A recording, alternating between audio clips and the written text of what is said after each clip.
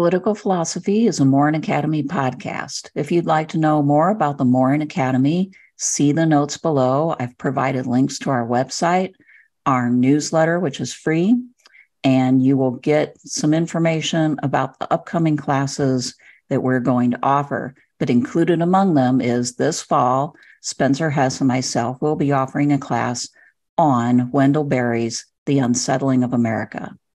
But as of now, I need to get back into Eric Voegelin's little book here, Science, Politics, and Gnosticism. And this part is dealing with what he calls ersatz religion, which I guess I'll translate as um, false religion uh, or a poor substitute for religion. So, what's he talking about? Well, I'll try to explain that. So, in this section, towards the end of the book, Voegelin is going to talk about different modes of immanentization, um, which is the bringing down of, of the heavenly or the transcendent to earth, the attempt by human beings to bring the transcendent to the here and now, which Voegelin um, obviously thinks is a mistake. And he thinks that it's a mistake that's been happening not just in modern times, but throughout history, especially since the advent of Christianity. And so we'll get all into that uh, in this particular episode. So he starts off this section by saying, by the Gnostic movements, we mean such movements as progressivism, positivism, Marxism, psychoanalysis, communism, fascism, and National Socialism. And I'll just pause for a second and say, in a lot of the rest of this book, he's primarily focused on Marxism, but here we do get an acknowledgement that it's not just Marxism that is a problem in modern times, it is all of these types of isms. He says we are not dealing, therefore, in all of these cases with political mass movements, because notice, for instance, positivism or psychoanalysis. These are not mass movements in the classic sense, they're intellectual movements. So we're not dealing in all of these cases with political mass movements. Some of them would be more accurately characterized as intellectual movements. This draws attention to the fact that mass movements do not represent an autonomous phenomenon, and that the difference between ma- masses and intellectual elites is perhaps not so great as is conventionally assumed, if indeed it exists at all. I love that point because I think that intellectuals oftentimes want to try to distinguish themselves from the masses and tell themselves that they cannot become susceptible to the type of thinking that gets people into trouble ideologically because they say to themselves they're dealing only with the facts and using reason. But I would say my own personal experience, as well as my experience of other um, academics and intellectuals, is that they very much can engage in Gnostic thinking too. It's very difficult. I think one of the things that um, this book really brings out is just how difficult it is to extract yourself from this way of thinking because it has very deep, uh, long origins.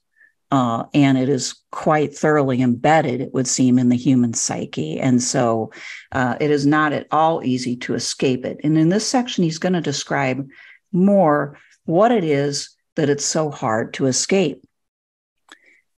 So he points out that mass movements and intellectual movements are always connected.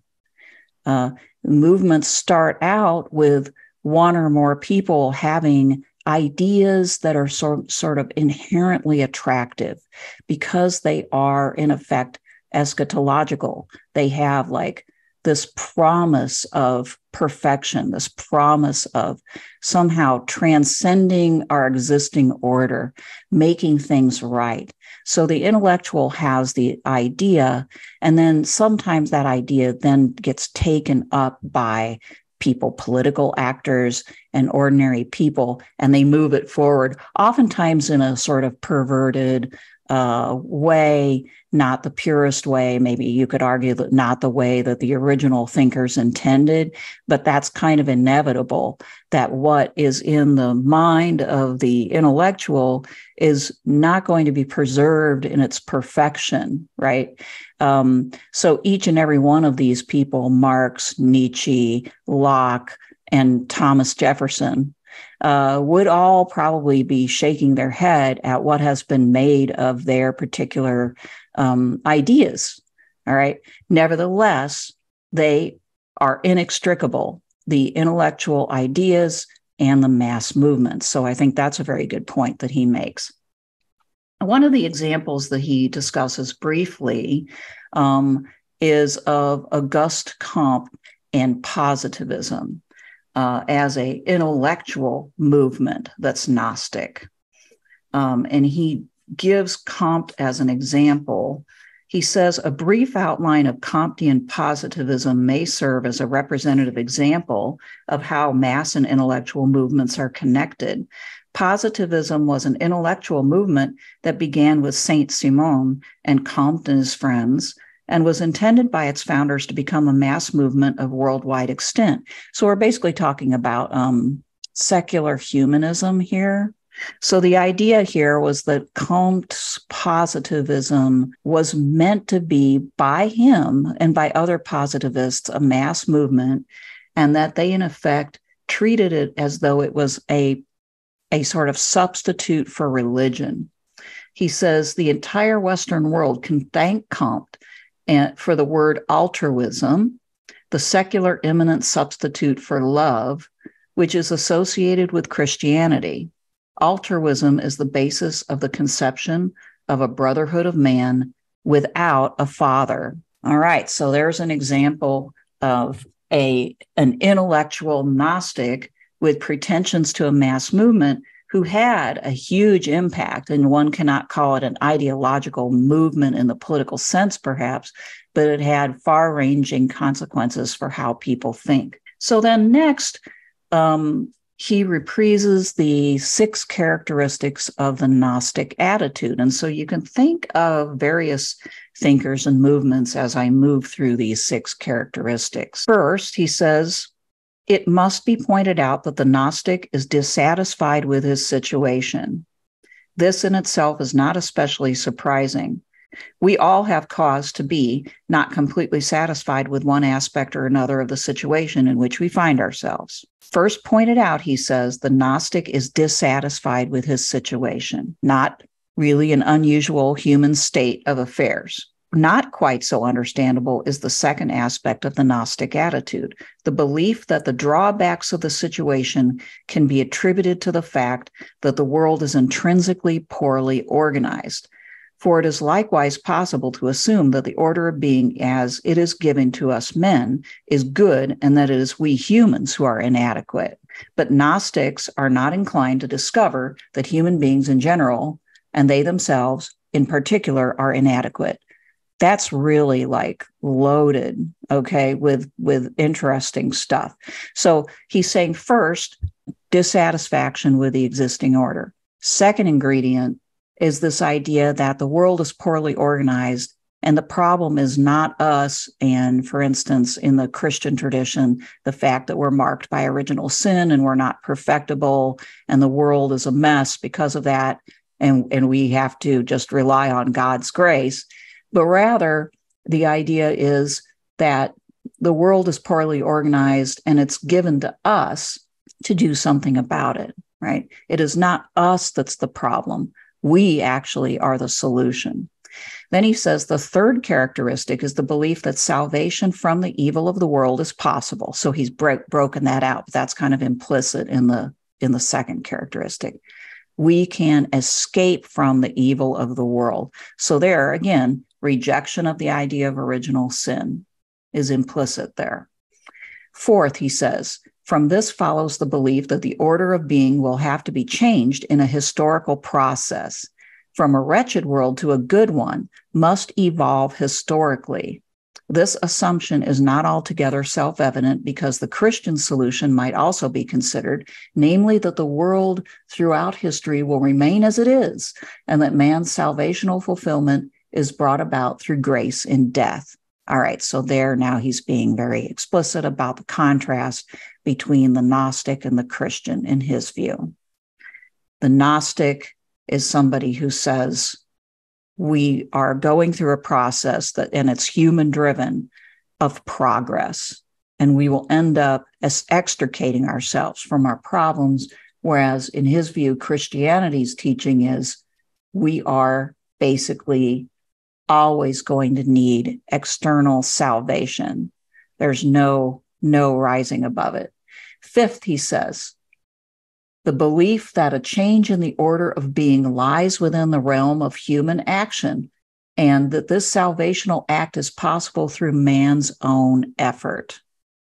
And then, sixth, he says, it becomes the task of the Gnostics to seek out the prescription for such a change. Knowledge or gnosis of the method of altering being is the central concern of the Gnostic.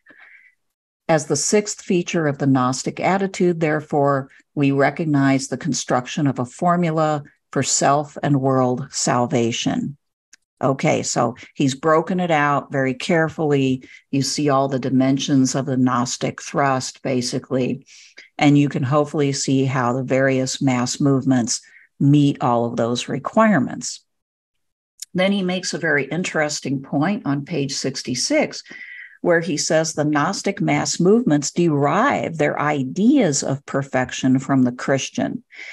And I guess, you know, many of them would deny that they have anything in common with Christian uh, ideals, right? So, like, for instance, Marxism might deny that. Typically, a Marxist might deny that. Um, you know, a fascist might deny that. Um, even like a capitalist might deny that, right? And say, no, you know, like it's empirical it's you know our ideas are based on empirical evidence and on our observations of human nature and what it's capable of okay um, but he's saying no like the the uh, original dream the original ideal is basically christian and all of these have become ersatz religions they have become they have tried to become christianity without uh, without christ or without god um, um, substituting Christ and or God with uh, man and with the historical process and with humans' efforts. And then he breaks it down a bit more and he says there's some variants of this way of thinking. One is teleological progress, which is characterized by thinkers like Kant, and I would say Marx fits in there. And then there's also the axiological variant, which is more where um, a thinker comes up with an ideal that's based upon his notion of of human reason, what's truly rational. Thomas More would be an example of that, which he gives. Okay, so he uses Kant and More as examples of these two approaches. More had this hope that as people became more uh, literate and educated and rational, uh, that they that they would see the reason of reforming, and he tried to get Henry VIII to do this to no avail, right? He ends up being executed instead, but um, for other reasons because he um, opposed Henry's marriage. But still, this does not ever stop people from coming up with these ideas, whether it's the teleological version or the axiological version, or there's another version, which is the combination of the two, which he calls activist mysticism. Of this third type, he says, it is a derivation of the two components as they are immanentized together. And there is present both a conception of the end goal and knowledge of the methods by which it is brought about. We shall speak of cases of this third type as activist mysticism. Under activist mysticism belong primarily movements that descend from Auguste Comte and Karl Marx. In both cases, one finds a relatively clear formulation of the state of perfection. In Comte, a final state of industrial society under the temporal rule of the managers and the spiritual rule of the positivist intellectuals. In Marx, a final state of classless a classless realm of freedom. And in both cases, there is a clarity about the way to perfection. For Comte, through the transformation of man into his highest form, a positivist man. For Marx, through the revolution of the proletariat and the transformation of man into the communist Superman. Uh, then there's a section on St. Augustine and Joachim of Flora or of Fiora, depending on wh- what you read. Joachim's name is either Joachim of Fiora or of Flora. So if you think I'm wrong in my like in my spelling, look up the fact that there's like two different variants of this gentleman's name. So he turns first to the fourth century Christian thinker Augustine. And he says of his thought, the phase of history since Christ was the sixth, the last earthly stage, the saeculum senescens, the time of the senility of mankind. The present had no earthly future. Its meaning was exhausted in waiting for the end of history through eschatological events. So I take it that he's he's characterizing Augustine's thought in this way, and that would match up pretty closely with what Voegelin thinks is a genuine Christian position. That we are not capable of overcoming the uh, the flaws the sin and so forth. And we are relying upon the rescue, basically, of God through Christ. And so the times that we are living in for Augustine were, were not, you know, extremely hopeful as far as humans' progress. Um, he does note that this was probably caused by the fact that Augustine was living through that period of time in which the Roman Empire was crumbling. So it did not appear that human beings were making progress. But then later, he says, 12th century Western European man saw progress starting to happen, right? Um, and this changed the, uh, the the mentality. And Joachim of Flora was a, a 12th century Christian figure. And so uh, Voegelin characterizes his way of thinking this way. He says the 12th century Western European man could not be satisfied with the view of a senile world waiting for its end, for his world was quite obviously not in its decline, but on the contrary, on the upsurge. And then he, it's very interesting. He he breaks down some of Joachim's symbols. Um, that he says are still ours today. Ways of thinking you know sort of sort of archetypal ways of thinking that are still embedded in our own mind and come from the earlier christianity but as it's interpreted through people who are now living in times of modernization. And joachim one might argue uh, was living through the very beginning of that uh, change so he talks about how Joachim had four symbols that have remained, he says, the characteristic of political mass movements in our modern times. He says the first of these symbols is that of the third realm, that is, the conception of a third world historical phase that is at the same time the last, the age of fulfillment. So he talks about how we tend to see things in these three stages, like ancient, medieval, and modern, right? Um, or he says in the 18th century, the three phase laws made by Turgot and Comte made their appearance. World history is divided into a first theological, a second metaphysical, and a third phase of positive science. Having just gotten done reading Vico, um, it seems like Vico has sort of a similar way of thinking in a way. He also mentions Hegel and Marx uh, in this regard. So that's the first of Joachim's symbols that he applied uh, to the development of Christianity, to the development of the social order.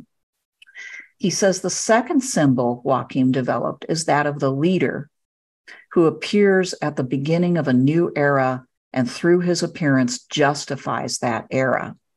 So the world historical person or leader, like maybe um, Napoleon for Hegel. Um, and then he says, third, of Joachim's symbols is that of the prophet. Joachim assumed that the leader of each age had a precursor, just as Christ had St. John the Baptist. And he says the, these tend to be the intellectuals who start the mass movements, right? So he says in the case of communism, also, it is difficult to separate leader and intellectual in the person of Karl Marx. But really, Marx was more the intellectual. And then his ideas get taken up by leaders and they sort of like translate them to their own immediate goals. And then off it goes from there uh, in the wrong direction, typically. He says, uh, but in the historical form of the movement, Marx and Engels have been distinguished by the great distance of a generation as precursors from Lenin and Stalin, uh, as leaders of the realization of the third realm. And then f- he says the fourth of the Joachite symbols is the community of spiritually autonomous persons. In the spirit of the monasticism of the time, Joachim imagined the third realm as a community of monks. But he says the symbolism is most clearly recognizable in communism, where you get this ideal of everybody um, just sort of um, cooperating freely and equally. Um, and he says it's also the idea in democracy um, that it thrives not inconsiderably on the symbolism of a community of autonomous men in a democracy. And so the implication there is that all of these uh, are um, they, it's a narrative, right? A sort of like archetypal narrative um, that is deeply embedded in people's minds that stretches back to the uh, to uh, you know Christianity um, and becomes uh, transformed into social and political ideas and then into ideologies. And people place like religious emphasis, a religious energy onto uh, the intellectuals who start these movements, um, who are looked upon as ersatz prophets, and upon the leaders who are like almost like Christ like figures um, figures of uh, you know change that that usher in like monumental life transforming change uh, and bring about the end of he doesn't use this term but the end of history the end of like the development of the historical progress